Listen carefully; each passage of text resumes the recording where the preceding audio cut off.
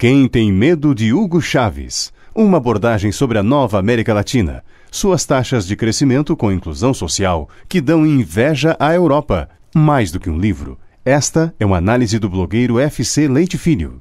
Das políticas de Chaves, Lula, Dilma, Cristina Kirchner, Evo Morales, Rafael Correa e Daniel Ortega, que nos arrancaram das políticas de arroxo e nos mantêm longe da crise que afunda os europeus e até mesmo os Estados Unidos.